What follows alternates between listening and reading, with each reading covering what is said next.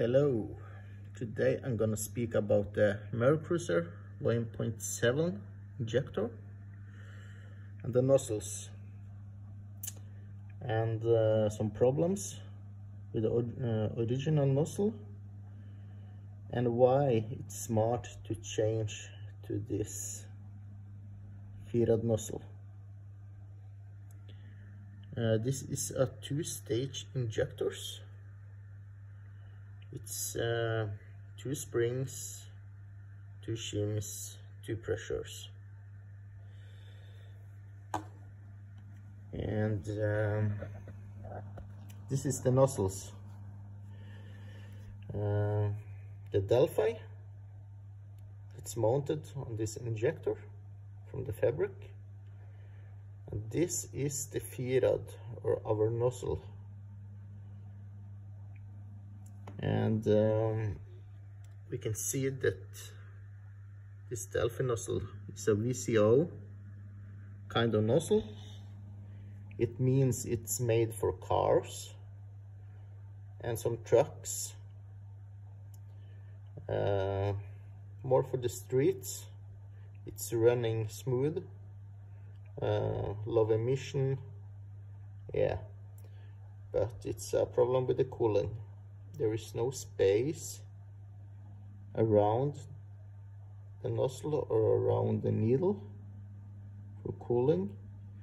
And the tip has a very low space also.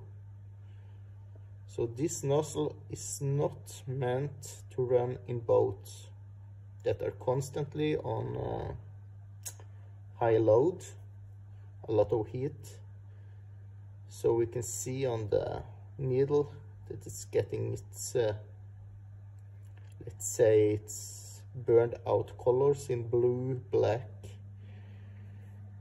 And um, this is why this nozzle gives up.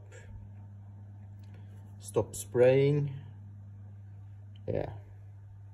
If we see this FIRAD nozzle we have a lot of space for cooling around the needle we have more space in the tip for cooling.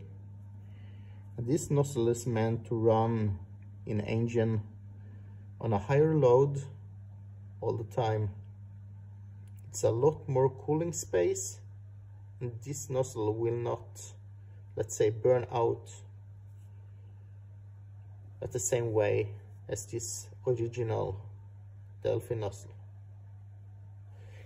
Uh, this FIRAD is a SAC. Who is meant to be in this kind of engines.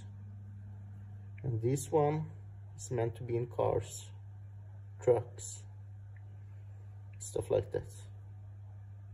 And we recommend to change your nozzle to this SAC nozzle to keep the engine running not damaging, damaging the engine because of the bad nozzles.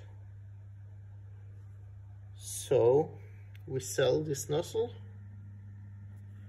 Uh, from FIRAD we have removed the number because we have had a lot of work finding this nozzle that can fit